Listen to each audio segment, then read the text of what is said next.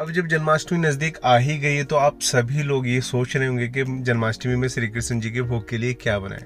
तो आज के वीडियो में आप लोगों को बहुत ही अच्छा ऑप्शन बताने वाला हूँ, जो कि आप इस जन्माष्टमी के मौके पर घर पे बना सकते हैं और कृष्ण जी को भोग लगा सकते हैं। तो आज की वीडियो में आप सीखेंगे ये अमृत के समान बनने वाले भोग के बारे में। बहुत ही डिटेल में मैंने बताया है, लेकिन इससे पहले आप हमारे चैनल को सब्सक्राइब कर लीजिए और जो बेल आइकन है, उसको भी प्रेस कर दीजिए, ताकि आने वाली वीडियो आप तक जल्द से जल्द पहुँचे। चलिए अपना भोग बनाना शुरू करते हैं। तो भोग बनाने के लिए हम एक पैन में सबसे पहले दो चम्मच घी ले लेंगे और दो चम्मच घी पिघलने के बाद हम इसके अंदर डालेंगे गोंद।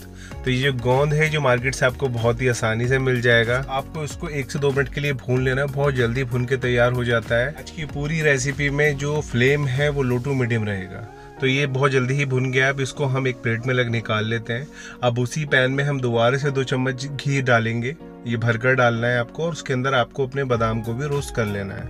बहुत हल्का हल्का करना है फ्लेम बहुत ज़्यादा हाई मत रखिएगा, वरना आपके जो ये बादाम है, ये जल जाएँगे और इसका स्वाद बिगड़ जाएगा। इसे दो मिनट के बीच में बहुत अच्छे से भुन जाएगा, इसको भी हम प्लेट में अलग से निकाल लेंगे। अब देखिए उसमें से थोड़ा सा घी बच गया है तो यहाँ पर हम एक टेबल स्पून घी इस्तेमाल करेंगे और उसके अंदर हम लेंगे काजू। देखो, काजू मैंने टुकड़ा वाला लिया है क्योंकि लास्ट में भी हमको इसको थोड़ा दरदरा कूटना है या पीसना पड़ेगा। जैसे ही हल्का सा भुन जाए तब आपको इसके अंदर डाल देना है किसमिस। इसको बहुत ज़्यादा नहीं भूनना है। इसके साथ में पहले आप किसमिस डाल दीजिए और एक मिनट के लिए इसको भी थोड़ा सा भून लीजिए क्योंकि जो अपना काजू है बहुत जल्दी भून जाएगा और कलर चेंज करने लगता है जो कि अच्छा नहीं है। अब जैसे ही ये दोनों की भुनाई हो जाए इसको भी अलग निकाल लीजिए। अब फिर से उसी पैन में आप दो चम्मच घी लीजिएगा और उसके अंदर आप डालेंगे मखाना। ये एक कप भर के मैंने मखाना लिया हुआ है।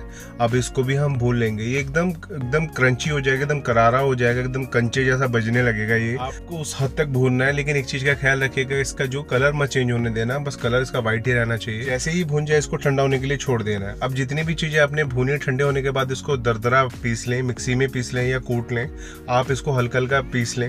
लेकिन एक चीज़ का ख्याल रखना, जो आपका गोंद होगा ना, उसको बहुत ज़्यादा देर तक नहीं पीसना, बस एक पल्स वाला बटन दबा के छोड़ देना है वो उतने में हो जाएगा। तो इसके लिए आप बहुत ज़्यादा अपनी मशीन को ना चलाएँ। इसी तरह आपने जितने भी ड्राई फ्रूट्स को रोस्ट किया था, आप सभी को दरदरा पीस लें और इसको एक प्लेट में निकाल लीजिए। देखिए, इस तरीके से हो जाएगा। बहुत ज़्यादा बारीक नहीं पीसना थोड़ा मोटा ही पीसना है। अब इसको आप थोड़ा साइड में रख दीजिए। अब हम इसकी लास्ट स्टेज पर चलते हैं तो यहाँ पर मैं डेढ़ कप जितनी चीनी ले रहा हूँ और इसके अंदर मैं डालूँगा सिर्फ़ आधा कप जितना पानी। इतनी ही पानी की ज़रूरत पड़ेगी, इससे आपको ना ज़्यादा की ज़रूरत पड़ेगी, ना कम की। अब आपको इसको चलाते हुए बस थोड़ा सा उबलने देना है और उसके तुरंत बाद इसके अंदर इलायची डाल दीजिए। तीन से चार के लिए इसके अंदर डाल दीजिए, खोल के डालना ताकि इसके जो दाने इसके अंदर चले जाए।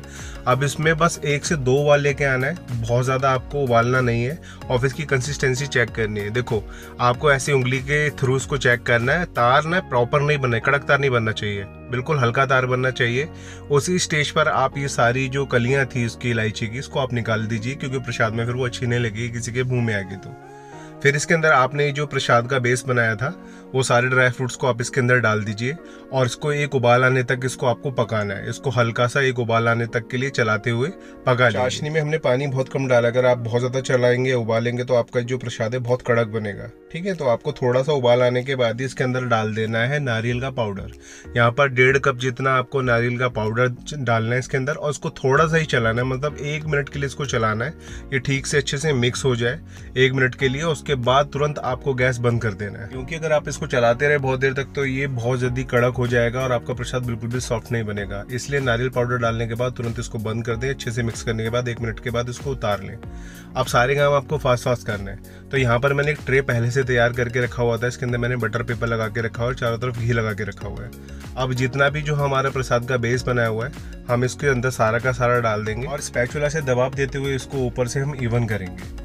आप देखिए, हमने जो नीचे बटर पेपर लगाया है उसका एक मकसद है कि जब हम अपनी बर्फ़ी को जब डीमोल्ड करेंगे तो ये बहुत आसानी से बाहर निकल आएगी। अब इसको हमें जमने के लिए छोड़ देना है, पंद्रह बीस मिनट या एक घंटा, जो भी टाइम लगेगा।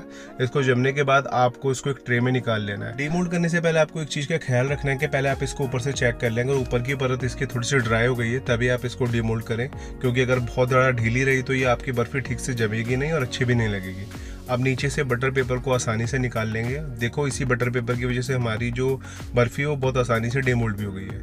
अब आप इसके पीसेस बना सकते हैं, किसी भी शेप में आप इसके पीसेस तैयार कर लीजिए। और हाँ आप एक और काम कर सकते हैं, अगर आप इसको बर्फ़ी के शेप में नहीं लाना चाहते तो आप इसके लड्डू भी बना सकते हैं। तो देखिए, यहाँ पर देखिए, बर्फ़ी बहुत ही अच्छी सेट हुई है। प्रसाद के लिए एकदम परफेक्ट ऑप्शन है। इस जन्माष्टमी पर आप इसको प्रसाद के रूप में अपने परिवार में या अपने पड़ोस में इसको बांट सकते हैं। देखिए, मैं इसको तोड़ के दिखा देता हूँ आपको। देखो कितनी सॉफ्ट है। ये बर्फ़ी अच्छे से सेट भी हो गई है और ये साथ के साथ सॉफ्ट भी है। तो देखिए, इस जन्माष्टमी के मौके पर ये परफेक्ट भोग है। सबसे बड़ी बात, इसको घर पे बनाना बहुत ही आसान है। बहुत ही झटपट से तैयार हो जाएगा ये आपका भोग। उम्मीद करता हूँ कि ये रेसिपी आपको बहुत अच्छी लगेगी अगर अच्छी लगी तो प्लीज़ इस वीडियो को लाइक कीजिए एंड शेयर कीजिए। अगर हमारे चैनल पे नए हैं तो प्लीज़ हमारे चैनल को सब्सक्राइब कर लीजिए।